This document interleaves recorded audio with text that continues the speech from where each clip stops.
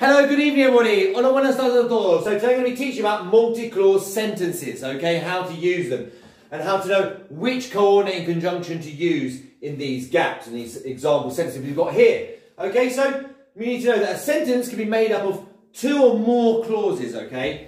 Joined together by coordinating conjunctions. How do we remember all the coordinating conjunctions? There's a really cool way, which is fanboys, which I've shown on a video before. F is for for, a is for and, N is for nor, B is for but, O is for or, Y is for yet, and S is for so, okay? So let's look at these two example sentences we've got here and see what which, which coordinating conjunction should go in those gaps, okay? My sandal is broken, mm, I think I can mend it. In this case, what do you think it will be? It will be but, okay? My sandal is broken, but I think I can mend it. Mi chancla está rota, pero creo que puedo arreglarlo. Okay, now let's go to the second, second sentence.